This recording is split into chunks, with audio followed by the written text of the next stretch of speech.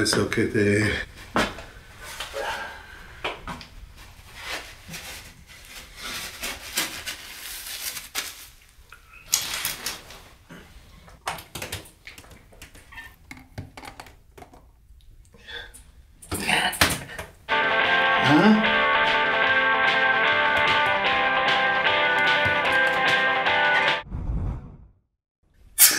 Guten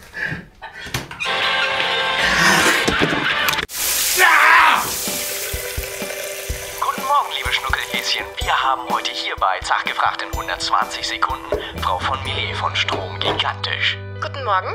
Frau von Millet, gleich mal eine Frage, die uns alle unter Spannung setzt.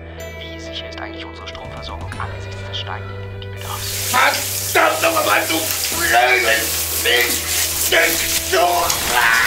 Also die Energieversorgung ist sehr sicher, das kann man so in aller Deutlichkeit sagen.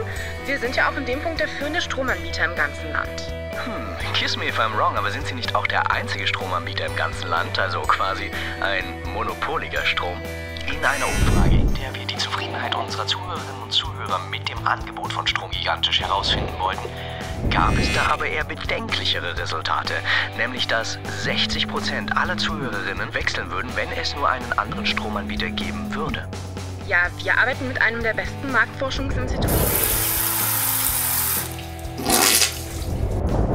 Unsere Kunden und ihre Belange liegen uns von Strom gigantisch sehr am Herzen. Ich kann Ihnen nur versichern, dass wir uns bald eins der modernsten Netze Wollen Sie damit etwa andeuten, dass unsere Zuhörerinnen und Zuhörer in die Steckdose gefasst haben, bevor Sie die Frage beantwortet haben? Das ist ja unerhört. Liebe Frau von Millet, wir können jetzt hier ewig diskutieren, aber was wir nicht wegdiskutieren können, ist doch, dass schon seit längerer Zeit das Gerücht im Raum steht, dass bei Strom gigantisch aufgrund von ominösen finanziellen... Sie nur ungern, aber das war's leider heute auch wieder mit Fachgefragt in 120 Der doch Sekunden.